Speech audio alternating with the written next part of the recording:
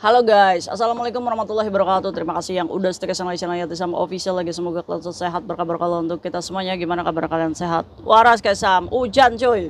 Kaisam sewa playground ini di Taiwan Gak apa-apa kita ngoceh di sini. Yang penting kita ada bahan gibah. Wes, gibah apa kita hari ini? Kita doakan dulu teman kita yang lagi sakit Allah sehatkan teman guys yang berjuang rumah majikan tentunya diberikan kekuatan sampai finish. Teman guys yang bahagia juga tentunya jangan lupa bersyukur. Rintik hujan hujan turun. Ingatkan tiga doa yang terkabul salah satunya adalah hujan. Ayo cuy kita doa doa itu gratis. Mau apa kalian? Ya Allah Kaisam yang penting majikan saya nggak pelit amin. Semoga saya bisa libur hari minggu Kaisam amin Padahal kita tuh harapannya sederhana-sederhana itu aja ya. Cuma susah sekali ya namanya juga kita ikut orang ya cuy ya. Ya mau gimana ya kita harus belajar beradaptasi, mengerti satu sama lain dengan majikan, sabar ya. Kamu di Hongkong itu kalau misalkan dalam jangka waktu yang lama ya udah jalani aja. Kalau nggak bisa libur minggu ini ada minggu depan ya kita di sini nawa itu kerja kita kembalikan niat. Hari ini kita bahas apa? Kaisam janji. Oke, ini mbaknya nanti di bulan September sidang kedua labor kita belajar tentang eh, gimana sih kalau kita nuntut di labor itu ya cuy ya. Nah mbaknya ini ada di luar ya, ada di kos-kosan dan majikannya itu saat sidang pertama sudah membayar sebesar 11.000 atas tiket pesawat gaji bulan Mei katanya dan tuntutannya mbaknya ini meminta 69.000 Hongkong dolar. Wow, kok banyak sekali Kaisam. Emang kasusnya apa? Oke, kita bahas yuk. Mungkin kejadian ini sama dengan kamu supaya kamu itu mem, apa namanya mendapatkan bukti-bukti dan bagaimana sih Kaisam supaya kita ini bisa menuntut majikan. Disclaimer dulu, mbaknya ini sudah bekerja di Hongkong ini sudah uh, tahunan yang udah tahunan ya cuy ya. Dan ini majikan baru dia baru bekerja tiga bulan saja. Di kontrak kerjanya dia ini menjaga seorang nenek. Apakah ada neneknya Kaisam ada di rumah. Cuma jaga neneknya itu cuma pagi aja ngasih sarapan setelah itu mbaknya disuruh pergi ke kungsi atau ke kantor majikannya. Majikannya ini orang bukan orang Hongkong cuy tapi dia memiliki usaha garam usaha garam apa kaisam ya pokoknya garam lah cuy.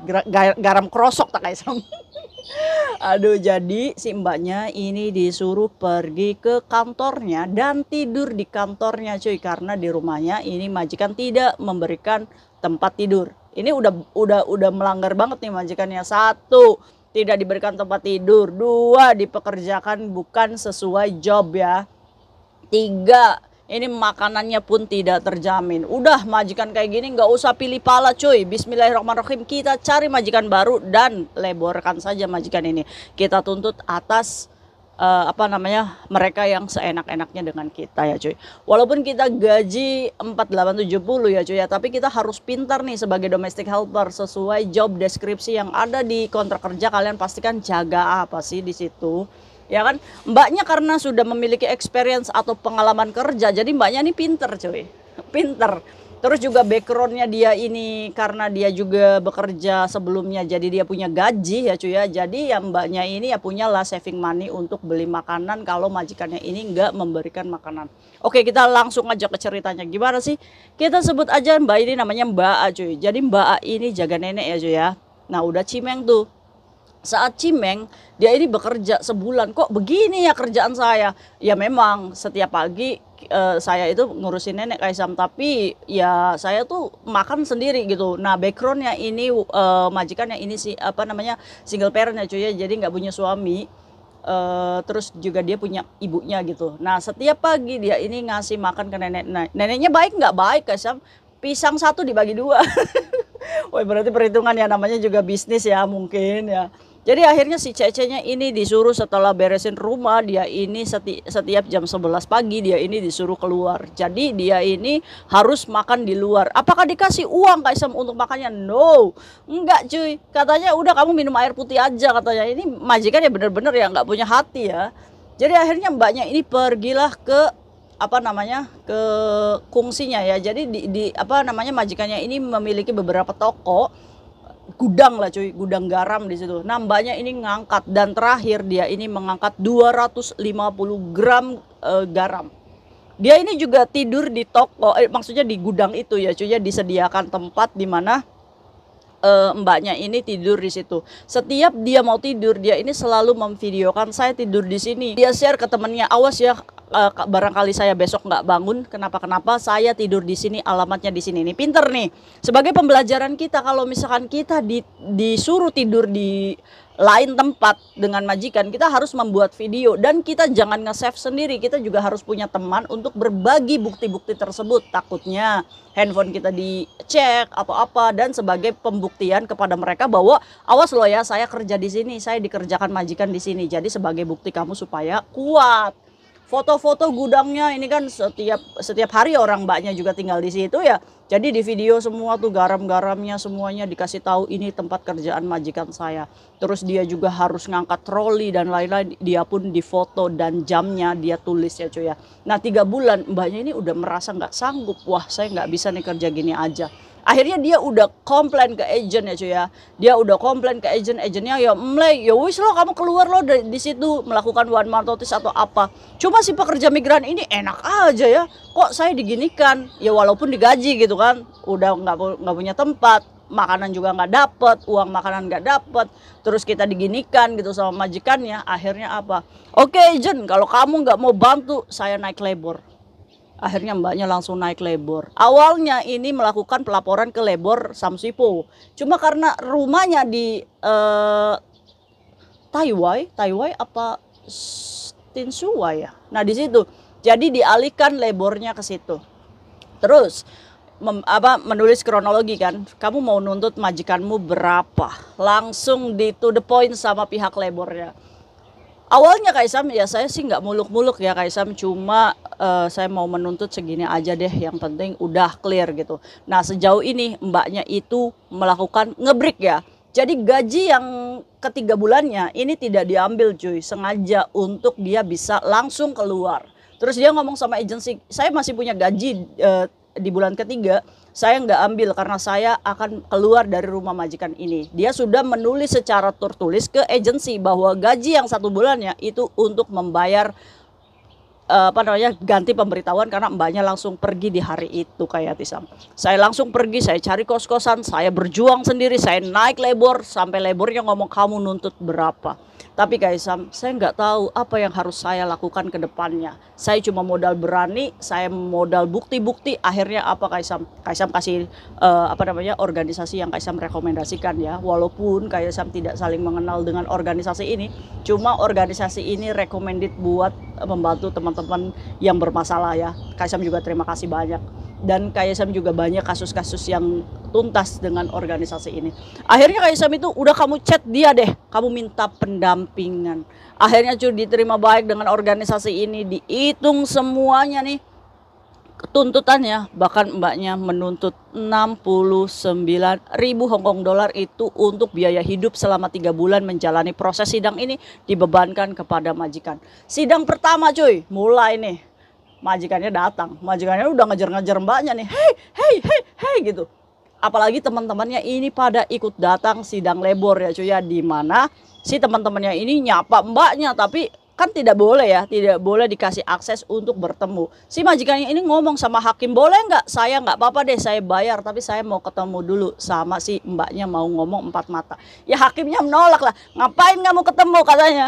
Terus udah kayak gitu, si majikannya ini membawa bukti prinan patadong yang digunakan cecenya cuy. Ternyata, ternyata bukti printan itu justru malah memperkuat bukti mbaknya bahwa mbaknya itu memang tidak pernah dikasih makan coy. Karena di bukti printan patadongnya si majikannya itu mbaknya cuma menggunakan satu kali dan itu senilai 29 dolar untuk membeli McDonald. Aduh ini jadinya buktinya semakin kuat memperkuat mbaknya bahwa si pekerja si majikannya ini nggak ngasih duit makan. Puas nggak tuh majikan? Akhirnya majikannya tuh ngomong hakim dia itu uh, sharing sama anak saya tidurnya, tapi dianya sendiri yang nggak mau tidur dengan anak saya. Dia kabur setiap malam itu. Itu penjelasan majikannya karena mbaknya itu kan ngomong kalau misalkan dia tidurnya di gudang gitu. Terus hakimnya ini ngomong, "Oh, anakmu umur berapa?" Umur 25 tahun. Ya nggak ada kecuali anakmu bayi gitu. Mana ada 25 tahun itu apa namanya bisa uh, butuh penjagaan katanya gitu. Udah majikannya majikannya ini udah kekurangan bukti untuk membela diri cuy dan alhamdulillahnya dengan bukti-bukti mbaknya yang tadi tuh video dan lain-lain mbaknya ini memiliki bukti yang kuat. Nah, nanti sidang keduanya di bulan September. Kaisam ngomong nanti kalau misalkan majikan itu nggak bayar kayak Tisam sisanya, ini saya akan naik lagi sidang supaya uh, penentuan sidang ketiga itu penentuan saya menang atau enggak. Nanti kalau kamu menang apa? Kalau saya menang Kaisam potensi mendapatkan dua tahun gaji itu terbayar. Wis, gila mbaknya dengan keberaniannya dia berpotensi mendapatkan 100 berapa tuh dalam 24 bulan dikali gaji kita 100 lebih ya. Wis keren kan? Tiga bulan kerjanya. Nah, karena majikan zolim nih kayak gini, wah kita tuntut aja lebor ya kan. Nah, kalau misalkan majikan damai di sidang kedua, mbaknya berarti mendapatkan 40 ribu ya sisa dari ribu Dia itu waktu sidang pertama sudah dibayar ribu sama majikannya coy. Ini sidang kedua mungkin akan menjadi seru ya. Coba aja nih.